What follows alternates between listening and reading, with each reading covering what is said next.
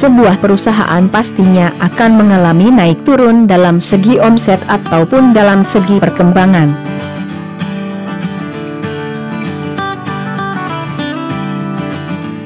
Nah di pertemuan bulanan ini, tim Laskar Buah berusaha mencari solusi guna menghadapi masalah tersebut yang mungkin saja bisa menyerang perusahaan.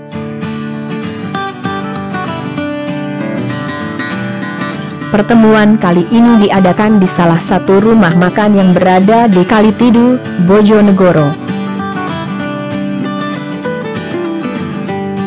Acara yang dipimpin oleh Ibu Siti Robiah selaku owner dan Bapak Juanto selaku manajer ini mengupas banyak hal, mulai dari evaluasi kerja per individu hingga kinerja per toko. Tak seperti biasa, acara ini hanya dihadiri oleh kepala toko saja. Dan telah diagendakan untuk pertemuan keseluruhan anggota diadakan tiga bulan sekali. Dalam sambutannya, Bapak Juanto menegaskan betapa pentingnya safety riding bagi setiap anggota karena setiap hari kita melakukan kegiatan yang berurusan dengan bahaya. Ia pun mengajak teman-teman untuk selalu mengikuti tata tertib yang ada. Karena sebagai kepala toko adalah contoh dari skup yang berada di bawahnya. Kita ini tim, Mbak. Saat ada sesuatu yang kita dikomando satu orang, kita kerja bareng-bareng. Dalam teamwork, yang paling utama kita tinggalkan ego pribadi demi satu tujuan. Satu hari, satu orang. Sedangkan Birobiah mengajak para kepala toko untuk terus mau belajar, agar laskar buah dapat berkembang dengan cepat. Belajar bisa dari mana saja. Bisa dari bertanya kepada para senior dari membaca, dari pengamatan, bahkan bisa dari medsos.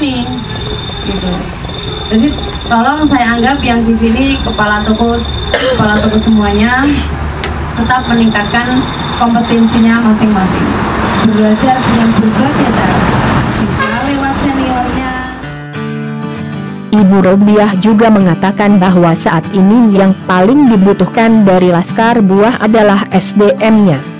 Jadi beliau pun mempersilahkan bagi setiap anggota jika ingin merekomendasikan teman atau tetangganya untuk ikut bergabung dengan Laskar Buah, namun tentunya juga harus memenuhi kriteria yang dibutuhkan perusahaan. Karena perusahaan kini telah mengerjakan banyak proyek pengembangan. Misalnya yang sudah dalam pengerjaan adalah kantor khusus untuk bagian distribusi, pembuatan laskar buah cabang Dandar, pembukaan cabang laskar buah Purwosari 2, dan masih banyak lagi proyek mendatang. Ke belakangnya 45 meter kita urus semua. Uh, untuk kita saat ini tetap menambah karyawan terus uh, sehingga sehingga sampean semua itu ini sebenarnya bukan malah mendapatkan pesaing baru ya, tapi peluang baru bagi sampean. Ya untuk yang lain sebenarnya target target kita itu sebenarnya banyak sekali. Tapi ya begitu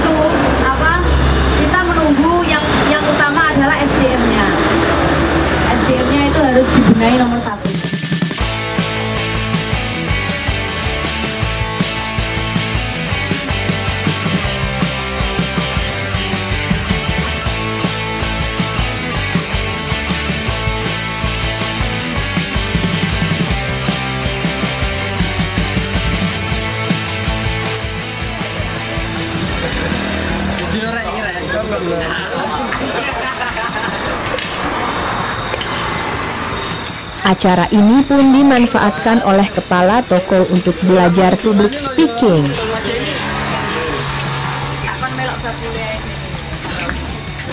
Seperti Mas Majid ini yang kini ditugasi sebagai pengajar sistem standar kerja perusahaan.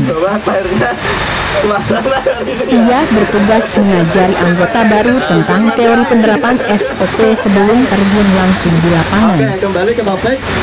Mengenai SDM yang mana kita harus mempunyai beberapa skill. Mungkin kita semua sudah berpengalaman ya untuk uh, menghadapi tipe-tipe Begitu juga Mas Huda.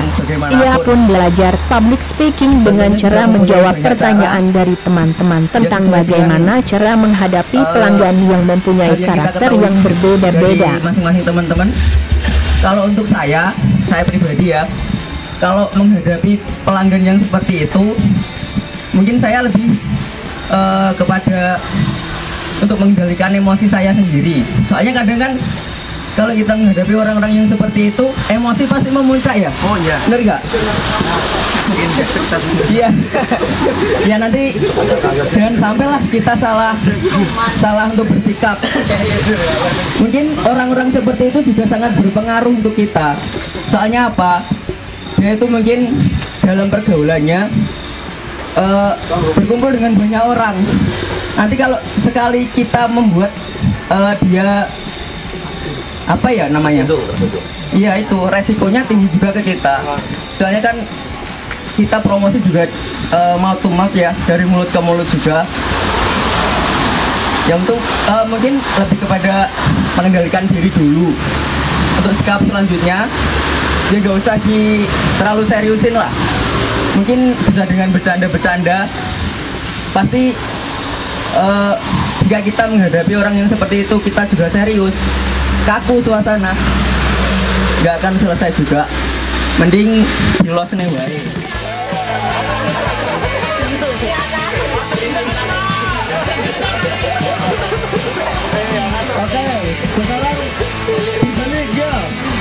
Diharapkan kegiatan rutin ini mampu menambah pengetahuan para anggota, prestasi mereka, bertambahnya loyalitas dan semangat kerja setiap anggota.